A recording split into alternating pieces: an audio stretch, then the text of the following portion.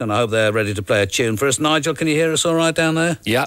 And uh, you've got four new songs. I was, I was hoping for something more than just yeah. Um, but on the other hand, I can I can pick up a, on a cue like that and carry on as though nothing had happened. Uh, four new tunes for us. Well, we've got five actually. Two of them are quite short. So Oh, right. segueing a couple Oh, in the yeah. end. Yeah. Okay, and these are from a forthcoming LP. Yeah. Yeah. What's the forthcoming LP called? I Um, you're obviously not very good at this, are you? You're supposed terrible. to, at this stage, you're then supposed to plug the LP. So give That's the LP right. title a couple of Um, times, drop in the name of the record company. And uh, so what's the LP called? Uh, it's called Voyage to the Bottom of the Road. right. Um, and it'll be out on uh, Oh Probe Plus, yeah. Of course, That's right, you've done, you've done that. That's Yeah. good. And uh, before you start, just uh, an entirely unrelated thing, with a question that you'll be able to answer, which we've been puzzling about, and we should have perhaps known, but we've not been reading the papers or the right newspapers. What's happened to Pat Nevin? Oh, he, uh, he had an injury. Oh, and. He's sort of just getting back to full fitness now. Oh, right. Uh, so she'll be back in a couple of weeks, if, if not before, in fact. Okay, off you go then. First tune. It's uh, called Bad Review.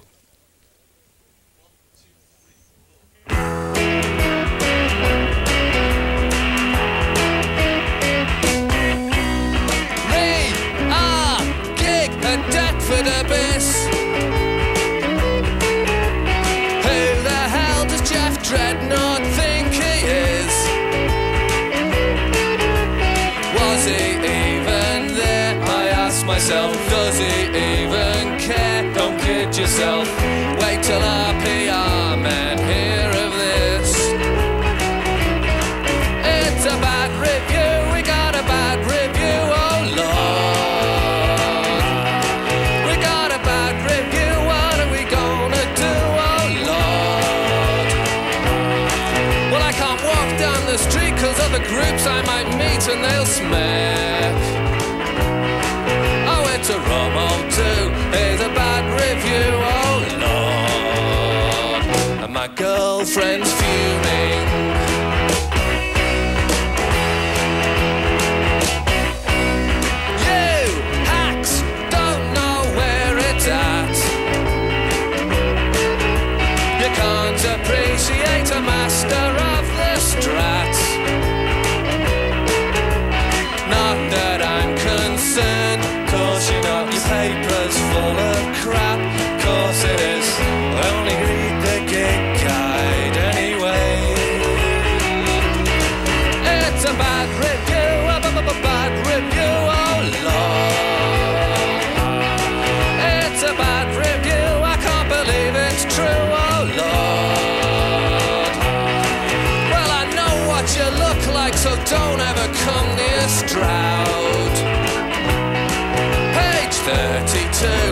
a bad review,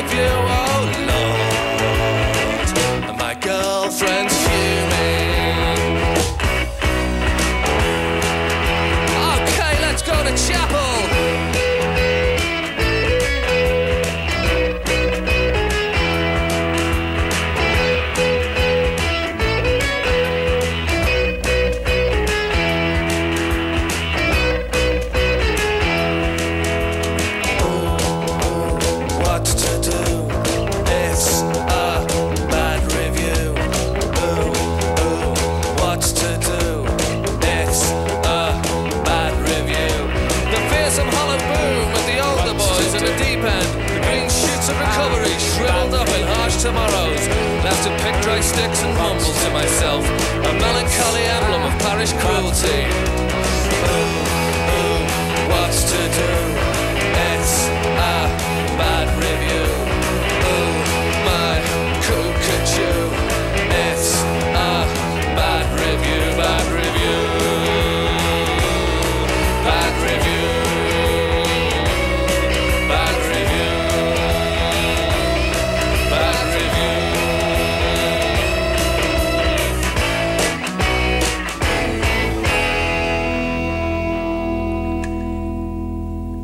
I've said it before, a national treasure. There's no question about it. When I die, I want them to be buried with me. Half man, half biscuit. Uh, that's called Bad Review. And three, four more from them before the end of the programme. And further enlivening conversation as well. One from them down in the basement is the wonderfully titled Deep House Victims Minibus Appeal.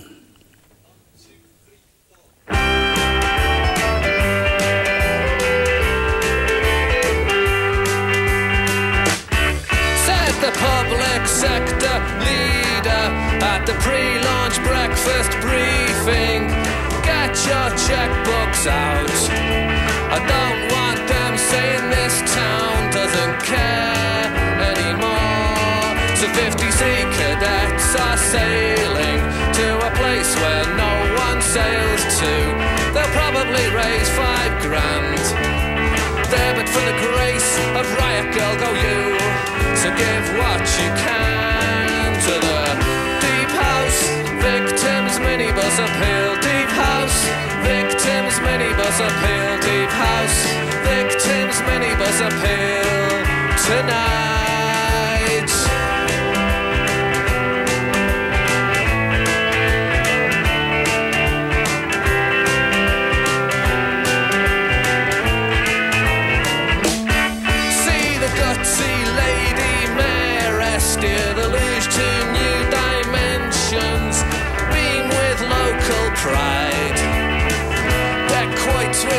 French transvets.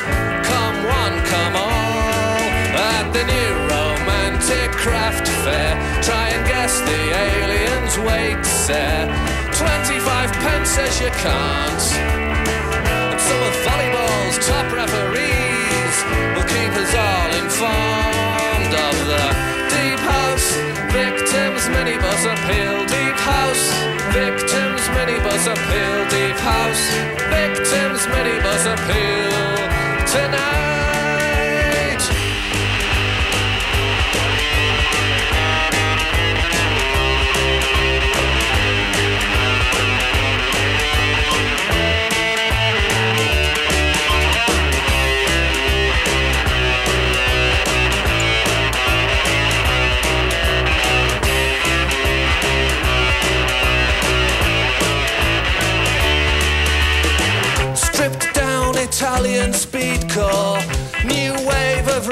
Righteous handbag. What's your contribution to Deep House victims? Deep House victims, Deep House victims, minibus appeal.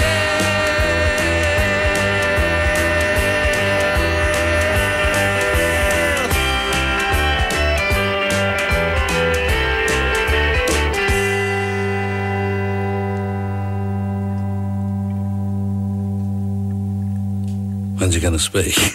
Live and direct, uh, that's uh, Half Man, Half Biscuit on the Mark Radcliffe programme. I'm John Peel, sitting in for Mark this week when he and Lard are doing the breakfast programme, and uh, well worth listening to. It is excellent stuff throughout. Uh, Nigel, tell us more. T- give us the title of the LP again first before we go any further. Um, the LP will be called Voyage to the Bottom of the Road. That's right, and uh, it's released when? Um, sometime November. Right. Exci- exciting plans to to uh, promote the record? No. Right. Okay. I knew the answer. gigs. I knew the answer to that before I even asked it. Tell us about the few gigs then. Uh, we're playing tomorrow um, in Leeds, Duchess of York. Yeah. And then um, oh, 23rd of November uh, in Manchester, the Boardwalk, and the 27th in Fibbers, York. So that's a bit of a tour in itself, two in four days. It is actually. It's, yeah, a bit of a rush there, Mm. Yeah. and, and uh, um, something. What was I going to ask? Oh, yeah, give us the, give us the lineup of the band while I'm thinking about it. Too. Okay, it's um, Carl Henry on drums. Don't drum roll. Um, I think you should actually. Uh, That's- well, think it's, it's proper showbiz tradition. Give us a drum roll then, Carl. That's Heartwarming. that's cool. Heartwarming. yeah. We've got, uh, as usual, of course, um, my oppo Neil Crossley on bass, which he's obviously not going to do, and Ken No, Hancock on uh, guitar, and myself. Very good. Okay. Now listen. The last time I saw you was when we uh, we went to Meols together and Yeah. uh, walked along the beach there. Do you ever retrace your steps on from there with a, a tear in the corner of your eye? or- Uh, indeed, yeah. Um, in fact, they've uh, opened up that lighthouse now. Oh, the have they? public. Yeah. about two weeks ago they opened it up, and uh, obviously, you know, uh, I was sort of like, uh, you know, been there, done that. Right. Of course. um, they've opened the top, you know, it was the top, um, the top, le- the top level, wasn't it? Yeah, very impressive it was too when you were Yeah. up there. But yeah, the, the main reason that you were there anyway was to give us advice on a kind of uh, pop heritage trail experience in the Meols area. That's right, and yeah. uh, things It's- like uh, didn't, it was, hadn't didn't Cynthia Lennon once live in a house that was almost in Meols, if not quite? Yeah, it was. It, it's really high, like, but um, But near know- enough. Yeah, it's near enough, Meols. Yeah, I think it was Trinity Road, yeah, Right. which is uh, where John escaped to. I think when um, I don't know whether he's kicked out of college or I don't know. He was having arguments and all that. He lived there for a while. so I'm told. But there are tourists who would pay you good money to be told this, aren't there? Really? I mean, you could conduct a tour, perhaps a Wirral-wide uh, pop tour, because there was. Uh, you also pointed out, uh, I think, a phone box that uh, orchestral or member of uh, orchestral manoeuvres in the dark had once used to make a phone call. Or something. Oh no, it was uh, it had cro- cropped up in a song. Is this right? I think yeah, they, they wrote a song about a phone box in Hoylake or Meols. Um, but you'd only you'd, you'd only have that. You'd, well, you'd have that phone box, Cynthia Lennon's house, and your old house, which is about it, really, isn't it? No, there must be more to it than that. I don't think there is. Yeah, you could go to Chris Boardman's house, oh yes. I suppose. Yeah, yeah. And uh, Glenda Jackson's. And uh, the place where um, the cricketer, what's he called? Uh, Oh. Ian Botham. He was born in Heswall. Botham, yeah, and the bloke who used to play uh, near your neck of the wood, uh, Cranston, was it? Ken England cricket- Cranston. Kenneth yeah, Cranston, yeah. Used to play for Neston. That's right, down at Parkgate. That's right. Mm. Right, okay, well, that's enough of this. Not much to do with pop music. We should be plugging your uh, things that you got coming up, but we've already Oh, done that. right, yeah. I think what we need is another tune. Okay, this is called um, Dead Men Don't Need Season Tickets.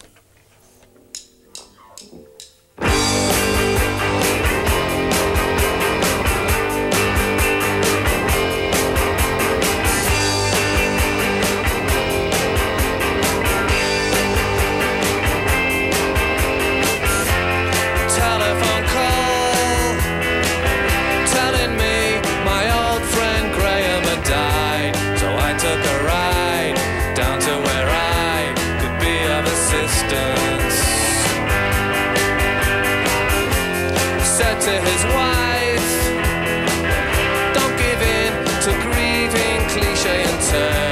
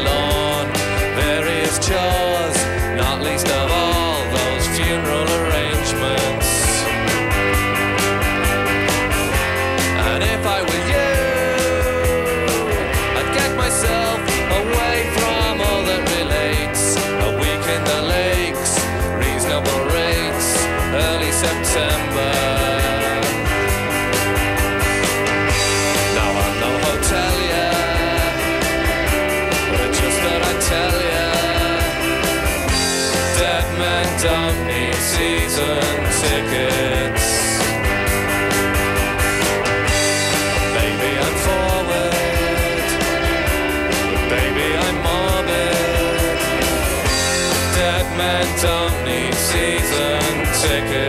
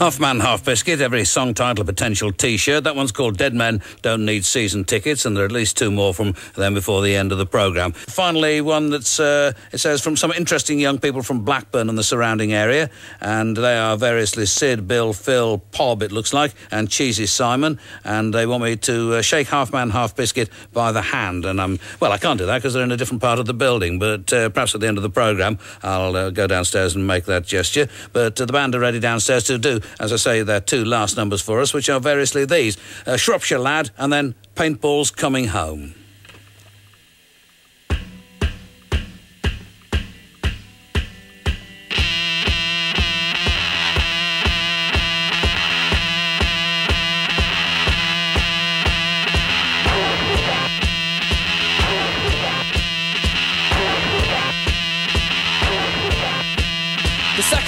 Greatest time I had was when they asked me and my dad to organise a festival along the lines of Donington. We took Chirk Airfield as our site, booked the bands we thought were right, received a long range from the Met.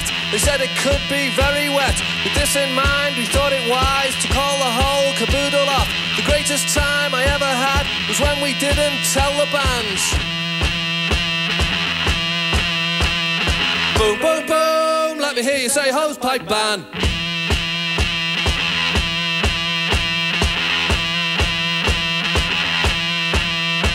My childhood, my family, my screwed up relationships, my girlfriend, my boyfriend, my suicide to come. The drugs, hell, the drinks bill, Columbia hotel room. I do believe I'm going to plan. What say we go the Isle of Man, man, man, man, man, man, man, man. Welsh rockers, Man, man, man. Welsh rockers, Man, man, man. Welsh rockers, rockers, rockers, rockers.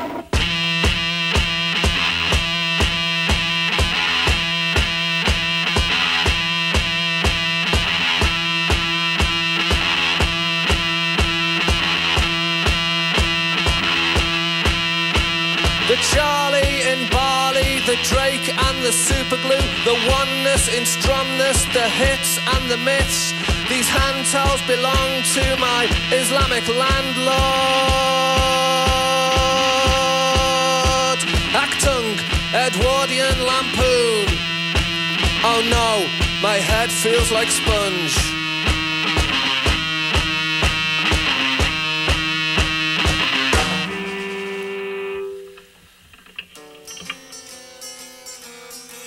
They've got the whole world in their house. They've got the whole wide world in their house. They've got the whole world in their house to see the new conservatory. They go 10 pin bowling. After work, they go 10 pin bowling. After work, they go 10 pin bowling. After work, and they're getting married on a Caribbean beach. They've got a German Shepherd, dog called Prince. They've got a German Shepherd, dog called Prince. They've got a German Shepherd, dog called Prince. Cause the one called Sheba died. They know where things are in B and Q. They know where things are in B and Q. They know where things are in B and Q. And they got the joy of sex video. If I were a linesman, I would execute defenders who applauded my offsides. They were due on the crystal maze, yeah, they were due to go on the crystal maze, yeah, they were due on the crystal maze, but they got mugged in Florida.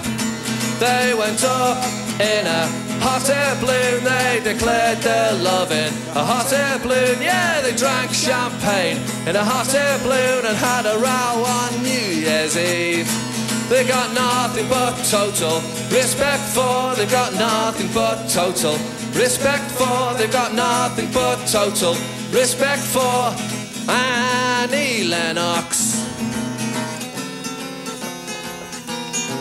If I'd have known they were coming, I'd have slashed me wrists. That's that's superb stuff. Thanks very much indeed. Disconnected jottings, really, with harmony vocals. I think uh, last lot, little bits of this and little bits of that, but wonderful stuff as always. So thanks very much, Nigel, and the rest of you. It's uh, much appreciated. Thank you. And there was something else I was going. The, t- the titles there. Let me give you those again, uh, listeners. Where I've lost the piece of paper with them on again. What were the titles uh, again, Nigel? Hold on. What have I done with the piece of paper? Uh, give us the titles of those last two, last few The, la- pieces. the last two, a Shropshire lad, and the last one was Paintballs Coming Home, That's right. Are you still watching a lot of uh, daytime television? unfortunately. Yeah, so because I saw something this morning with which you're probably very familiar, which I'd never seen before. It's called. It's not called this, but it's something like makeover or something. Do you know? Oh, I'm aware of it. Yeah, I've um, I've dissed it thus far. Yes, I'm, I'm not at all surprised, but uh, I should. Uh, if you go, if you wake up early enough tomorrow morning, if it's on tomorrow morning, uh, I should make a point of watching it. It's pretty you, um, spectacular. you did get me into Earthworm Jim. Oh yes, is it? Oh, good. I'm glad to hear that. Very good indeed. Yes, good stuff. All right. Well, thanks a lot, and uh, always heroes on any program with which I'm involved. Half man, half biscuit.